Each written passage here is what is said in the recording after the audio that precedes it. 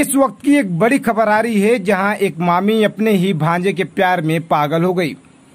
और दोनों के बीच ऐसा प्यार हुआ कि भांजे ने अपनी मामी की मांग में सिंदूर भर दिया। कहते हैं कि प्यार और जंग में सब जायज़ है। वहीं जमुई में एक ऐसी अनोखी शादी हुई है, जिसकी चर्चा अब सबकी ज़ुबान पर है। इस शादी का वीडियो भी अब तेज़ी से सोशल मीडिया पर वायरल हो रहा है।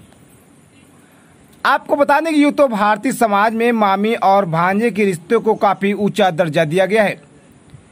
लेकिन बिहार के जमुई में सामाजिक रिश्तों को दरकिनार कर दोनों ने शादी रचा ली है।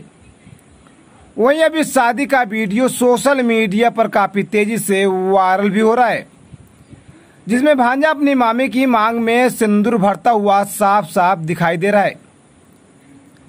तो आइए जानिए कि इन दोनों के बीच प्यार की शुरुआत आखिर कैसे हुई। आपको बता दें कि लखीसराय का एक युवक जमुई के गिद्दौर की रहने वाली एक लड़की से प्यार करता था। वहीं ये लड़की रिश्ते में उसकी मामी लगती थी। दोनों की मुलाकात लड़के के ननिहाल मननपुर में हुई। आपको बता दें कि भाजा चंदन अक्सर अपने ननिहाल आया जाया करता था। इसी बीच दोनों की आँखें चार हुई। दोनों के बीच में जो फासले थे, वो धीरे धीरे कम होने लगे।